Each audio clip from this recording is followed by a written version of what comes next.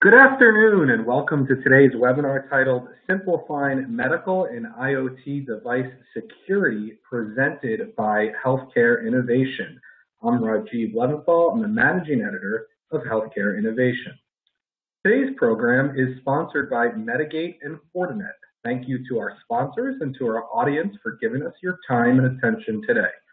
Before we get started, we do have a few housekeeping details to go over. First, to submit a question, please use the Q&A box to the left of your video window at any time. You do not have to wait until the end of the program to submit a question. For technical issues, please press F5 to refresh. And if that doesn't work, you can submit a question with your issue through the Q&A panel. Finally, we strongly encourage you to join our webinar conversation on Twitter today. You can do that by tweeting uh, using the hashtag HI live webinar. And with that, I'd like to introduce our speakers for today's program. We have with us Stefan Goldberg, who is the VP of System Engineering at Medigate, and we have Troy Ament, who is the Chief Information Security Officer at Fortinet. Uh, gentlemen, the floor is yours, and Troy will kick it off with you first. Thanks, Rajiv. Um, so thanks everyone for joining. Um, so we'll kind of jump right into it. So the the healthcare um, landscape has has changed obviously dramatically here in in 2020. Um, the COVID-19 pandemic has you know dramatically created a new healthcare challenges uh, for for health systems, other infrastructure, and that that includes medical devices and other internet connected devices what has compounded the issues has really been budget shortfalls, right? Uh, I think all health health delivery organizations uh, in 2020 and and going into 2021, um, anything that we put in place really must drive bottom line value. So what we're going to talk about in this session is what technology tools healthcare organizations should be investing into to secure their medical devices, how we're preparing for the next security challenge, and then how our HDO is going to address the budgetary issues for this next coming year. So we wanted to take a little bit of a dive into the, the healthcare cybersecurity landscape and look at some statistics. You know, healthcare providers, you know, going back to, to my time over the last 15 years of being in the provider space, um, you know, have, have been protecting a growing attack surface, right? So an estimated 87% of healthcare providers now use internet connected medical devices, right? 80% of providers are making significant cloud adoption as their strategic priority, and about 60% of healthcare data breaches are carried out by internal threats. Uh, the attacks are ongoing. Attacks against healthcare has increased by over 60% year over year. Uh, we're, we're, seeing a significant increase in ransomware this year. We're, I think that number is going to be, you know, Last year was 60%. Um, I think we're going to see a larger number driving up and towards 70 to 80% with, with what's happened this year. Uh, 41% uh, of healthcare data breaches have been caused by email. That continues to be the, the leading uh, vector for, for uh, these breaches, which then lead to attacks to connected medical devices. And then almost 19% of ransomware attacks target healthcare, making it the second most targeted industry out there. Some more uh, statistics, which I, I, believe are interesting. So 41% of healthcare organizations suffered an operational outage that affected productivity. Now, now this data is from 2019, and what we've seen in the last 60 to 90 days is is more significant outages that have been occurring. So instead of maybe a, a ransomware attack affecting connected medical devices and connected, um, you know, Internet of Things, um, being a day or two, what we're now seeing is these being a, a full week or two or three or maybe a month of, of complete outage due to due to ransomware attacks. And this isn't just affecting you know computers or personal devices. These have spread over into um, connected medical devices as well, and have putting really clinical you know physical safety at risk. So we're seeing that within 40% of cases, 32% of cases experienced a breach that damaged their brand. 31% in already a really difficult year for, for health systems have had a, a revenue impact. And then 25% of, of organizations are now losing business critical data, which are, are re- leading to the OCR reports that we're, we're seeing out there with regard to, to data breaches. Uh, so the repercussions are dramatic. 72% of healthcare organizations leak medical data, and then each um, the average cost of a healthcare data breach is is average right now at about 6.5 million dollars. So what's the scale of the challenge? So this is some data that we put together uh, in securing medical devices. It's inherently complex because of the scale at which devices are deployed in a hospital setting. So today, on average, each medical bed or each patient bed within a facility has about 10 to 15 devices. Um, right now in the United States, um, and this number is a little light, uh, coming from from 20, uh, 2019, we had 925,000 staff beds. We now know with COVID-19 that number has grown dramatically with regard to the the heroic efforts our our frontline and, and health systems have, have done. And so overall, on average, we believe there's about 9 to 14 million total uh, bedside connected medical devices today. So, so this is a really interesting um, um, diagram on, on where we've come from, and not a lot has changed. So the statistics that you look at here really gauge um, information security maturity across connected medical devices and where we've where we've been and where we, have gone to. But but the overwhelming um, you know facts here are that not much has changed. If you look at medical device security is integrated into the enterprise security architecture, that that's really only changed by three percent over the course of the last five years. So moving from 2014 to 2019, testing and verifying that network medical devices are secure and free from malware hasn't changed. Uh, risk assessments is the one area I think we have seen some some pretty good work. So, 34% uh, now of organizations are doing and conducting a full risk assessment and have identified potential security threats. That's up from 22%, but we we know that no more needs to occur there. Um, and then the the other statistics there uh, kind of follow that same theme. So what are the technologies healthcare providers should have in place to secure internet-connected medical devices? Well, one, we believe is network access control um, systems that can, that can really do effective segmentation. Two, you need a, a, solution like Medigate that can give actionable clinical insights about device identity, function, and, and usage. That, that intelligence and visibility really feeds into the rest of the tools that that empowers security analysts and security professionals to to secure systems effectively. Internal uh, segmentation of firewalls, and then four, now that this edge that is that is growing out within many health systems is growing, really an edgeless organization, a, a software-defined uh, wide area network strategy as well.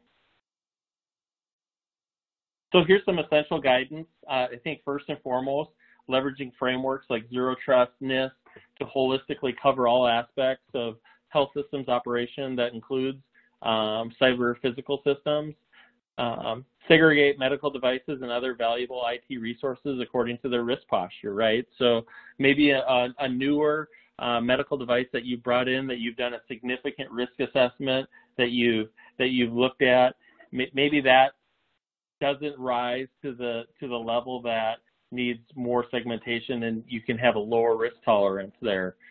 Um, then third, increase the visibility of medical devices at the edge and on the network.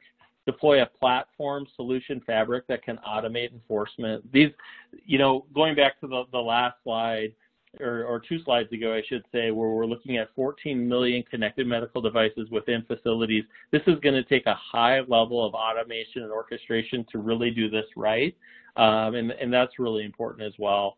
And then form a strategic relationship with your uh, security technology suppliers. So, so both us and Medigate, uh, Fortinet and Medigate, along with your suppliers that you're buying the medical devices from, gain, you know, build a really close relationship so that, you know, it's a partnership and that you're securing them from when they're coming into your facilities and when you when you start that engagement. So preparing for healthcare cybersecurity challenges, one, one area that we want to reemphasize is an integrated platform. Out of the box, connectivity of third-party uh, vendor products and open API system is really important. Uh, cyber physical coverage, branch networking and security. This is something that I really want to emphasize you know, so many of the connected medical devices that occur, yes, are out in the, the hospitals, but when we look at urgent cares or pharmacies or, um, you know, other um, clinic environments, there's a lot of connected medical devices out there, things like ultrasounds and, and other devices that are that are highly, um, you know, risk prone. Um, so extending that security fabric out to those uh, smaller facilities, the same that you have in the data center, the same that you have at your your large health facilities. That's something else we want to emphasize. And then something else that we're really proud of at Fortinet is really our processing efficiency and then our high performance and and uh, low latency with you know with the technology that we we bring to the table. So expansion of the platform. So so through integration with the largest industry uh, cybersecurity ecosystem, right now at Fortinet we've got 400 security fabric ecosystem integrations. So uh, we have a Fabric connector. Fortinet developed deep integration, automating security operations and policies. We have our Fabric API. It's a partner-developed integration using Fabric APIs, providing a broad visibility with end-to-end solutions. We have our Fabric DevOps. So this is a community-driven DevOps scripts automating network and security provisioning, configuration, orchestration. And then our extended Fabric ecosystem, uh, driving integrations with threat sharing initiatives and other vendor technologies. So this is where we really want to talk about the value of the partnership between Medigate and, and Fortinet. So at Fortinet, we really believe in a, a security-driven ecosystem and a security-driven networking, and really ensuring that all of our products across our ecosystem are are um, integrated holistically the value that you can bring to the table that, that Stefan will talk about a little bit later in detail is, is we've integrated through our alliance partnership uh, Medigate into all of our, our, our complete uh, security ecosystem. And, and we've talked about, you know, network or zero trust networking, network access control, and doing that segmentation, which is really important and a, and a big use case that a lot of organizations, you know, utilize. But I'll, I'll tell you in my experience from from running large um, health system security teams is is building it also into security operations is, is of equal value, right? So if there is a threat, an emerging threat amongst a connected medical device,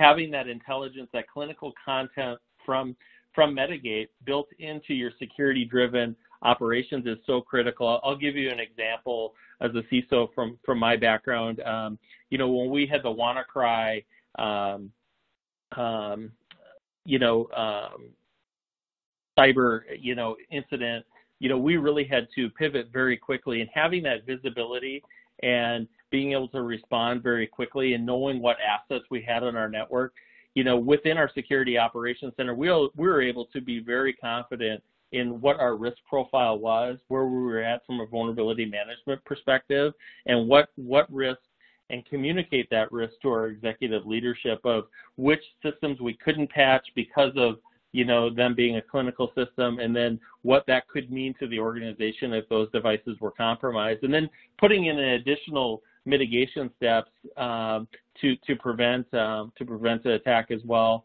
Uh, the other area I would talk to is you know that security driven networking across SD-WAN securing the devices out in the clinical uh, clinic environments um, in the in the urgent care environments also also very very important.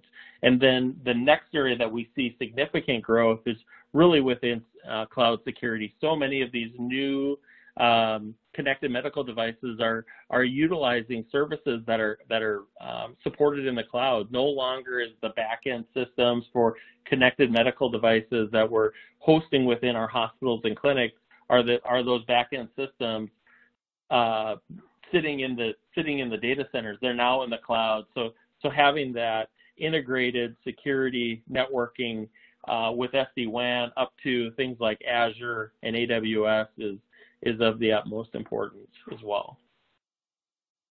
So what I want to do now is I want to hand it over to Stefan. Stefan is going to kind of work through and, and talk about the, the Medigate healthcare um, security solutions.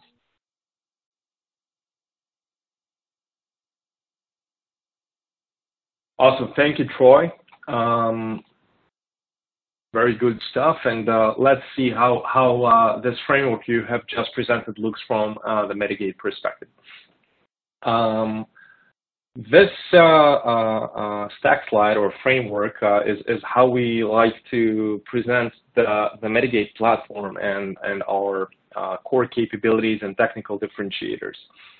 Um, it all starts with the data layer, the data capture layer, where um, our technical capabilities come to play uh, first and foremost, the way to protect uh, medical devices, connected devices in general, but, but especially medical devices, uh, is through passive network uh, collection, inspection, uh, resulting in discovery. The word passive is really key here because of the sensitivity of the environments and, and the context of those devices. So active probing and traditional uh, uh, techniques of device discovery is really less relevant or irrelevant for the medical devices in the clinical space.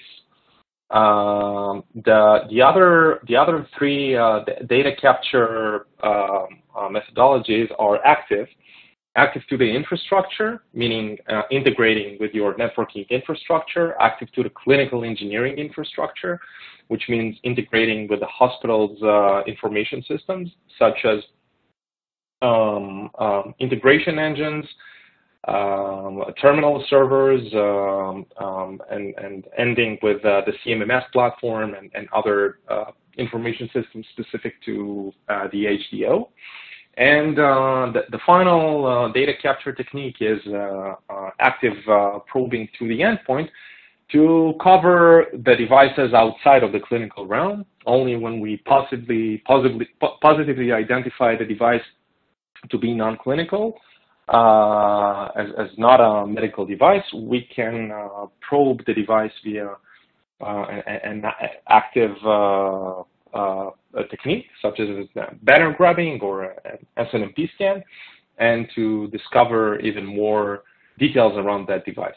Leveraging those four collection techniques, emphasizing the passive uh, uh, deep packet inspection architecture uh, that our platform boasts, results in uh, the most comprehensive uh, uh, visibility solution um, an HDO can install to gain 100% visibility to their connected device landscape.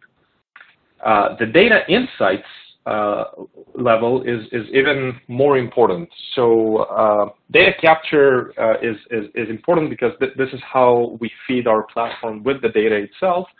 But uh, data by itself, throwing a pile of records on, on uh, um, a security team or an IT team does not result in anything uh, insightful or actionable. So translating this data into an, an insightful layer and, and being able to uh, calculate risk, prioritize devices by this risk, and, and, and, and present an actionable plan mitigating this risk is something that, that our platform aims to do, and this comes to play in the data insights layer.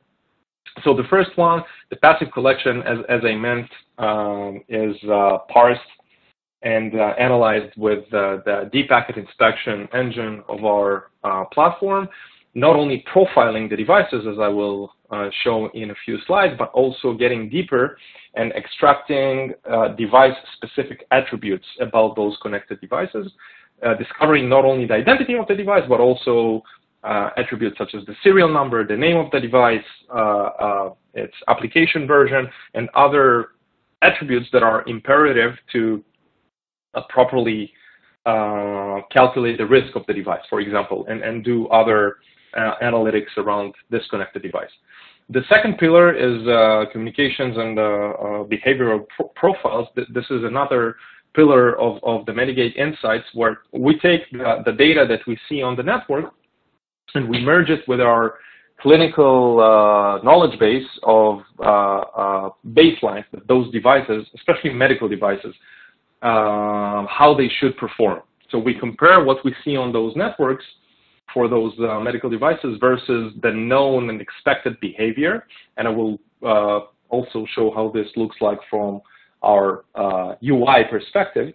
And this is a very important uh, attribute of the whole platform because knowing the identity of those devices is not enough.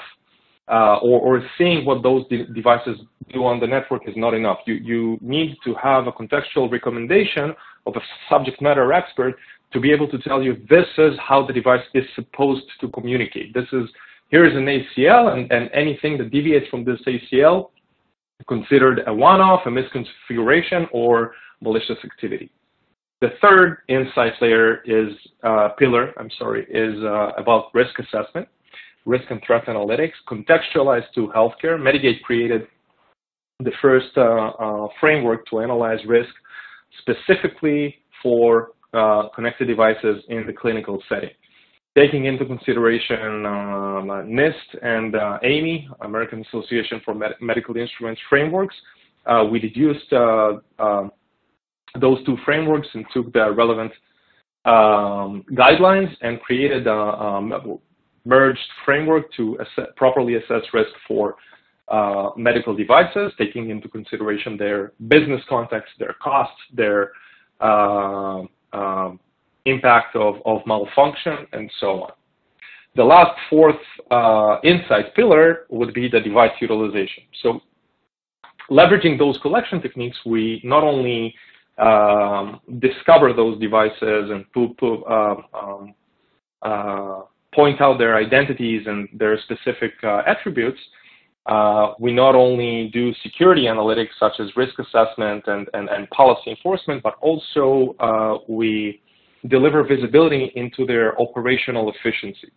This is very important, especially in this COVID area where HDOs need to be more mindful around cost reduction and, and, and other um, optimization activities around, around their uh, asset management, uh, Medigate can leverage the same technology of, of, of, passive collection of medical device traffic uh, to properly um, assess the usage of those devices connected to the network and um, uh, recommend insights and recommendations in terms of the lifecycle management of those devices, starting from procurement, ending with deployment and retirement of those devices.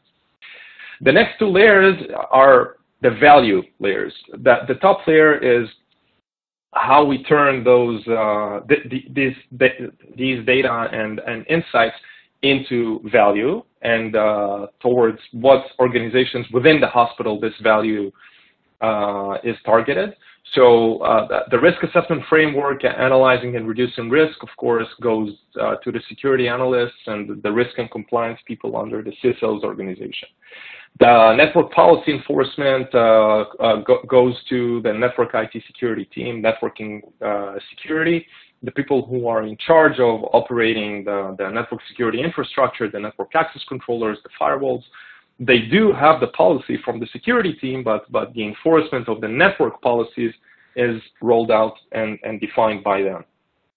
Uh, detection and response uh, use cases, taking our visibility and anomaly detection data and streamlining this data into the hospital SIEM is relevant for the, the, the SOC team of the hospital. And finally, this device utilization, this last insight pillar that is translated into uh, what, what, what's called today operational efficiency or the real-time uh, health system uh, targets all the, the, the, clinical side officials of the hospital from biomed, biomedical engineers, through the finance and operations people of the hospital. So uh, after reviewing this slide, you can you can think of Medigate as a platform with uh, four uses or uh, a platform, a portfolio with four products, and each one of those products targets a different um, uh, audience in, in, in the hospital, and the same data can be translated into four different insights that are translated into four other different use cases that solve four different problems. So let's take a look how it looks like uh, from a, a, demo perspective. Uh, due to some technical um, um, difficulties, we will not be able to show a live demo today, but rather um, a sequence of uh, slides. Anyone who will uh, who would like to see uh, a live demo and the demo of the integration between Medigate's platform uh, to uh, uh, Fortinet's portfolio, Fortinet security product portfolio, um, is more than invited to follow up. The contact details will be left at the end of this presentation. So starting with the dashboard, as you can see here, we map out uh, um, first and foremost the, the, the discovery attributes, the device counts of all the devices that are connected to a healthcare systems environment. And uh, as, as, you can see, it does not stop on the medical device level. Uh, it, as, as stated, discovers anything that is connected to the HDO's network medical, IoT, uh, IT, and um, let's take a deeper look at that. Medigate's taxonomy um, consists of three categories. medical devices, anything that is uh, defined by the FDA as a medical device uh, that has a K number or M number in the FDA uh, database. IoT devices, are um, devices that are not part of the domain, they are not managed, uh, they cannot be easily patched or connected to a system like uh, SCCM or BigFix or any one of those patch management solutions, uh, but they are not a medical device.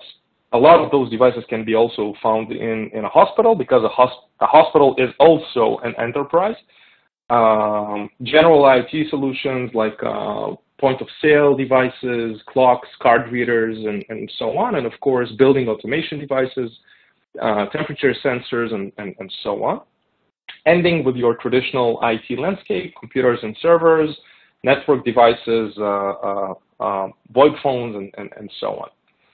Clicking on uh, the medical device category, you will see uh, the device profiles, the device types that are discovered uh, by the system. Under medical devices, you'll have five subcategories. Again, FDA's taxonomy, uh, patient devices, radiology devices, lab devices, surgery room devices, and the fifth one is clinical IoT. The fifth one is not an official subcategory. It's just all the IoT devices that are unique to the clinical setting. Uh, medication dispensing system is a good example. A medical device integrator, um, um, an RTLS system, a, a printer, and, and so on. So let's click on the infusion pumps and speak a little bit about the level of visibility and the granularity of the data. Uh, as you can see here, those infusion pumps uh, in, in, this uh, made-up demo hospital uh, are um, uh, manufactured by Alaris.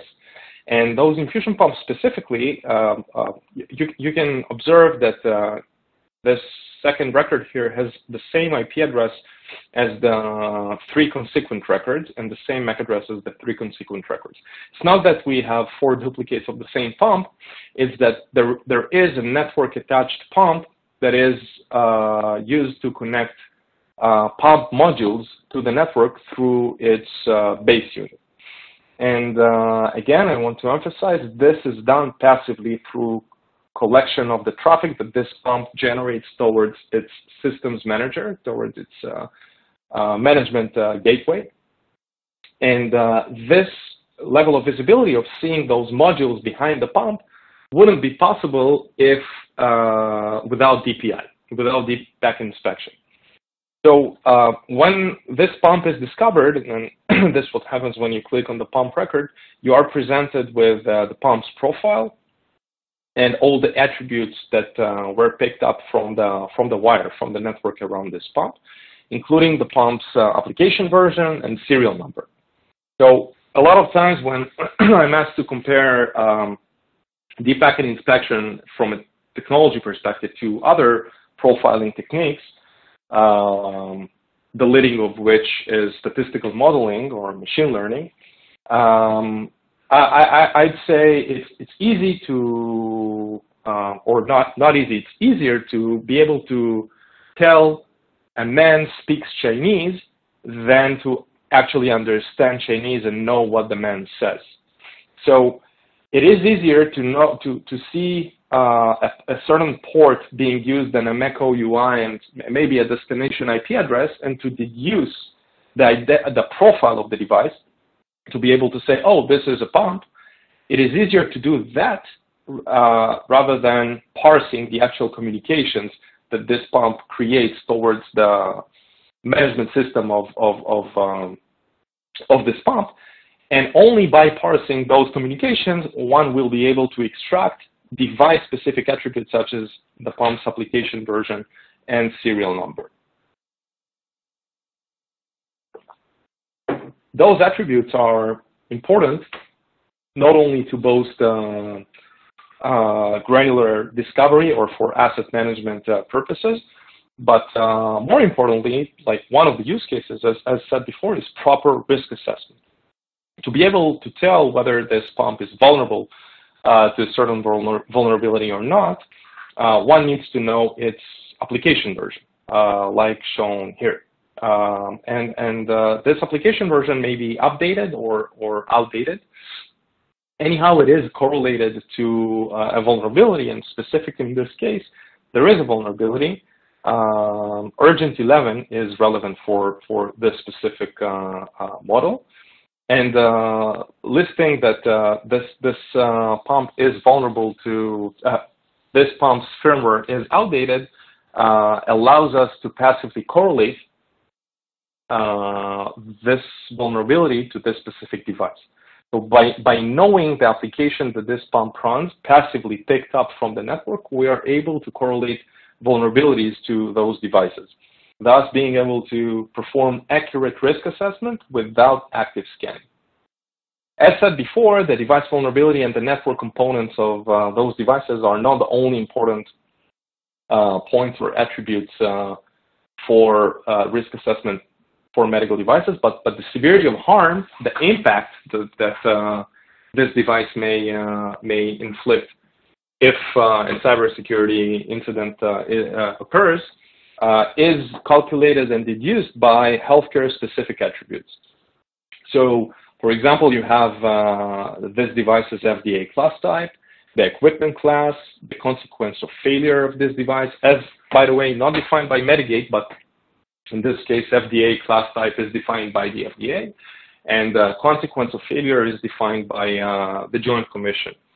Um, so th those data types, data sources are ingested into the same uh, um, single pane of glass, which in this case is, is, is, is our risk uh, management framework, and used to accurately calculate clinically contextualized risk score for those devices.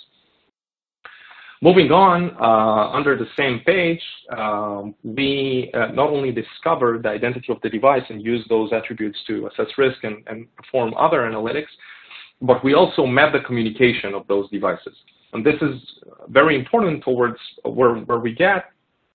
Um, without, without mapping those communications, it will be harder to verify our recommendations around uh, what this device should and should not do on the network. So you can see here that on the leftmost uh, bar is the pump itself. Then you have internal versus internal traffic breakdown.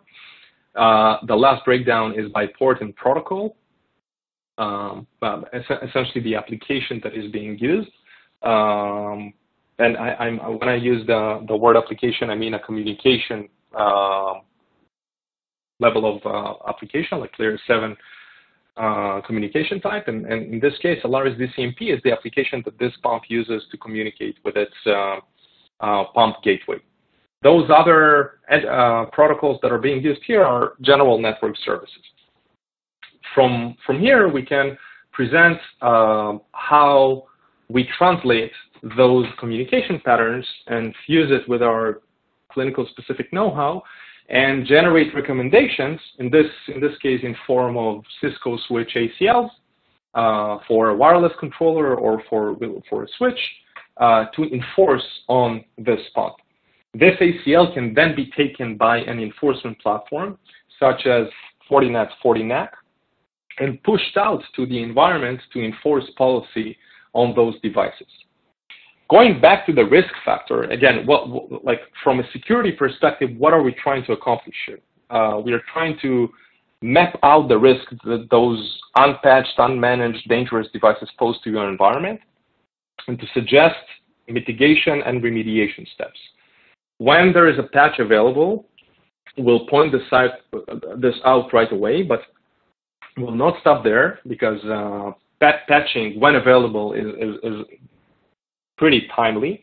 We'll always uh, also suggest a network uh, network policy mitigation uh, route as well. That uh, even if a patch exists, and in most cases it does not exist, to remediate a vulnerability and to uh, lower the risk of the device, um, our platform will suggest such a network policy for this device to allow only the communication the communications that this device need uh, to fulfill its clinical functionality and to forbid anything else.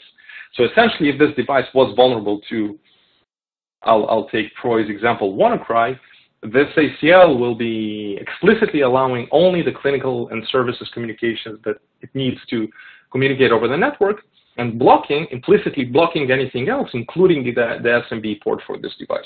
Maybe this infusion pump is not the greatest example because it's not a Windows device, but those big iron radiology devices that are pretty critical to the hospital's operations, this is what we do for our customers. We create those uh, network policies. We explicitly allow only the communications that uh, those devices need to uh, operate properly and we implicitly uh, deny anything else, including the, the, the ports and protocols that, that uh, the vulnerabilities um, uh, that live on those devices are susceptible to. Moving on, um, well, beyond the visibility and, and the policies that are expected, exported to those policy orchestration uh, uh, platforms like the Fortinet FortiNAC and Fortinet's uh, FortiGate firewall, uh, we also um, have other capabilities in the tool to help out the hospital's network security team to, to really plan out a comprehensive segmentation plan. Um, the view that, that, that, you see right now, we call it the, the communication matrix. Sorry. And uh, what, what you really see here in the rows and the columns of the matrix, you see the various device types, the device groups that Medigate discovered in this specific environment. The dots stand for observed communication. So in this manner, this dot here stands for uh, a, medication dispensing system that communicated with an infusion pump. Uh, and, and as can be seen by the color of the dot, this is considered to be anomalous activity something that is not part of the baseline behavior as known by Medigate Labs, uh, neither for the pumps nor for the uh, dispensing systems.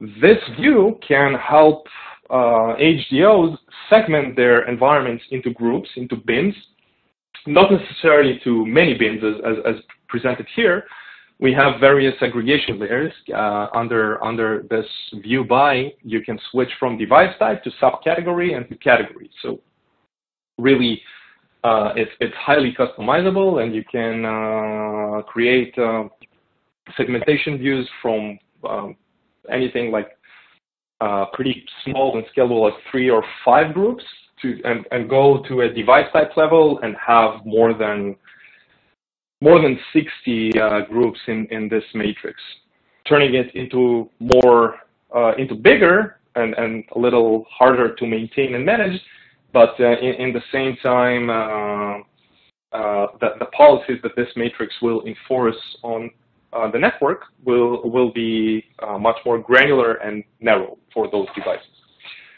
Um, there is always a, tension or a balance between how secure you want to go versus how simple and functional you want your security framework to be. So th this, of course, also is reflected in, in, in this, uh, in this view in this tool. Um, to finish up my, my portion of the presentation, um, a few, few screenshots of, of, of here. Um, so uh, what the, essentially the integration between Medigate and, uh, and, and Fortinet's uh, NAC starts with exporting all the visibility attributes that Medigate discovers around medical, clinical, and IoT devices in the HDO or the, the clinical enterprise, thus turning those devices from unknowns or, or rogue devices into registered devices, streamlining a lot of like onboarding processes and, and access control processes for onboarding those uh, devices on the hospital's network. And it continues with, with streamlining policies. We can use those attributes to put those devices into groups that, that later can be enforced with various policies. Simple policies such as putting those devices on specific VLANs that are designated to be like radiology VLAN or medical VLAN, uh, a functional VLAN, how we uh, used to call it internally. And uh, more sophisticated uh, actions uh, that, that, are planned in the, in the near-term future. To take those network policies, those, those ACLs that, that I showed a few slides ago, and uh, to roll out the infusion pump ACL or the radiology Siemens, Siemens radiology ACL to the devices that are classified by Medigate as a Siemens radiology or as a, an infusion pump. So we, in, in, in essence, to summarize, we take the visibility portion, we push this out to the devices managed by the policy enforcement orchestration platform uh, to give context to those uh, unidentified devices. And as a second phase, we uh, uh provide the, the, policy recommendations for those devices uh, um, in terms of how to narrow down their attack surface and, and, and what actions should be taken to mitigate the risk they pose to the healthcare environment.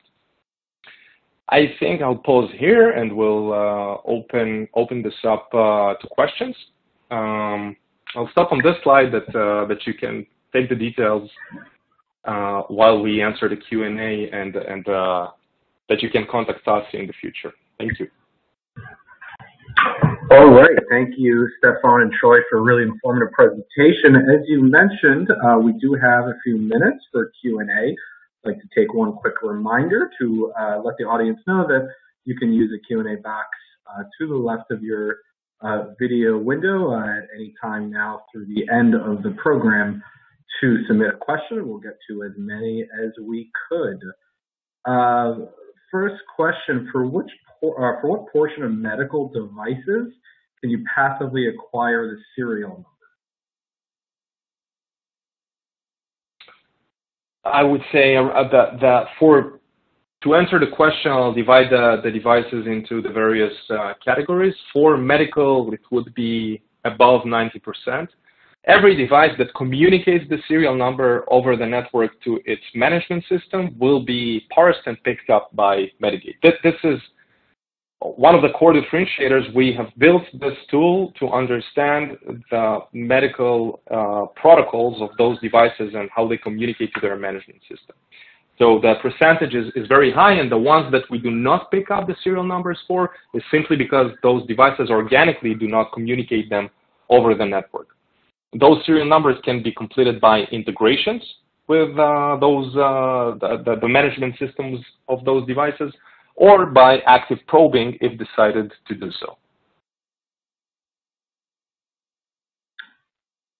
Great. Next question. Can I use Medigate to automatically push policies to FortiGate? Correct. Yes.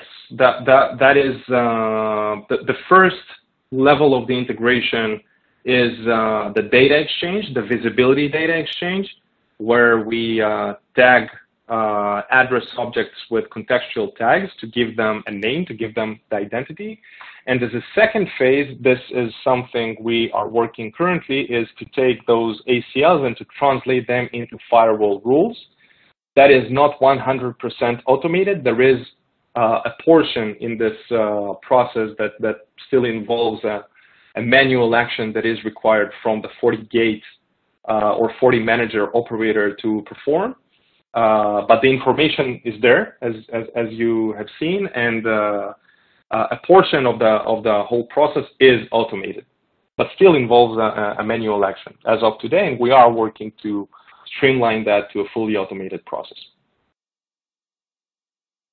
Great. Next question. How do you deal with devices that connect and disconnect to and from the network frequently? For example, as devices are turned on and off and move from one patient to another. So I, I'm not sure like if the if the question is asked from an asset management perspective or, or, or a security perspective. So I'll answer both. From an asset management perspective, if the question addresses how do we track devices uh, given the situation they frequently change IP addresses, is that we do not consider an IP address as a unique identifier, exactly for that reason. A device is like most of those clinical devices, not, not, not the big iron, not the MRIs and the CT scanners, but rather uh, the, the, infusion pumps and the glucometers and the patient monitors, the ones that are found in high numbers in uh, the hospital, those are uh, those live on, on DHCP segments and, and are, are getting uh, new IPs uh, every time they reconnect or the lease uh, is, is, is outdated. In, in, in such scenarios, tracking the device by IP does not make any sense. So we do consider a uh, unique identifier uh, as a unique identifier the MAC, the MAC address of the device and the serial number of the device. We can also use a combination of the names of the device. The device has a host name, uh, not necessarily like an Active Directory host name because it can be not attached to the to the domain, but uh, a local name or a SNMP host name. So we take those attributes and consider them unique identifiers, thus track the devices even uh, given the fact it changes uh, IP addresses. That's the asset management portion of the answer. From a security perspective, uh, if a device changes its location, for example, the patient monitor was connected to port A and then to port B, how do we ensure the policy is still properly enforced? That is what our policy enforcement partners do. Um, and, and, and that is the, the FortiNAC portion of the, uh, of, of the, the, the streamlining of, of policy enforcement. The FortiNAC will attach the device to the port, and then by the information given by Medigate, we'll attach the proper policy to be enforced on that specific port. All right, next question. In the ransomware events that you mentioned, have medical device been medical devices been compromised? Yeah, so I can take that one. Uh, this is Troy, but um, so absolutely, and even you know more relevance to this one most recently as as uh, ransomware uh, actors are are you know being more patient and getting deeper into organizations. But the areas that we're seeing you know, within our FortiGuard labs and our incident response teams. And then what I've seen out in the field is is radiology equipment, right? So Windows-based radiology equipment, PACS modalities uh, being compromised, uh, lab analyzers, and then uh, perinatal equipment. That would be four examples where we've seen uh, ransomware attacks, you know, be able to um, be successful on you know medical devices in the in the field uh, and and and that's why we're seeing the the longer downtimes, right? And and the deeper impact to patient care, you know, and why we're seeing uh, health systems uh, take longer and longer to to recover because when you have a a PACS modality or some perinatal equipment go down, you know, partnering and having that partner come back in and do that re-implementation of that system and, and testing and that type of thing takes some significant time. And the next question kind of segues into that answer. Are there examples of where Medigate is used in a medical instrument, such as an MRI machine? And if so, what benefits are there in leveraging your product for such a use case?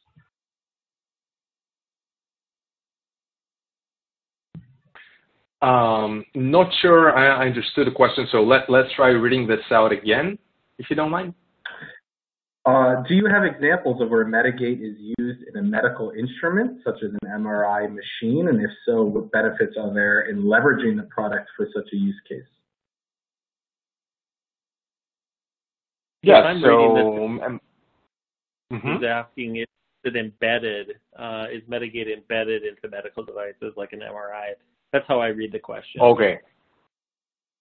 Okay, so let's answer both uh, versions. If, if it's uh, Troy's version of the question, so the answer is absolutely no. Medigate is not embedded in any medical device. It's a, an agentless uh, platform. We do not require any piece of software to be installed anywhere, not on your laptop computer server, neither on your IoT or medical devices. Everything is done via uh, passive network capture and integrations with uh, uh, management systems in the hospital. Um, if I read it from a different perspective, does Medigate supports uh, uh, um, the, the, the discovery and protection of MRI machines? But The answer is absolutely. Not only MRI machines, anything that is connected to your network will be profiled to the granular level uh, described before. Uh, and uh, all the analytics from risk assessment uh, through policy enforcement and asset management and the other parts of the of the product we did not have time to present today will be delivered for those devices. All right, next question. Given, uh, given the growing complexity associated with securing one's infrastructure, how does the partnership between Medigate and Fortinet make implementation easier? Great question. Uh, Troy, would, would you would you mind to start, and I'll comment up? Yeah. So I, I think you know through this joint alliance, uh, Medigate and, and Fortinet are co committed to the integrate integration to Fortinet's open APIs and extending the Fortinet security fabric. Uh, we believe that's going to reduce the complexity and make it easier for customers to roll out security solutions. Uh, right now, Medigate, I think, you know, just kind of building upon what Stefan says, currently has integrations with FortiNAC, FortiGate, and FortiManager, and will continue to build upon that integration as well.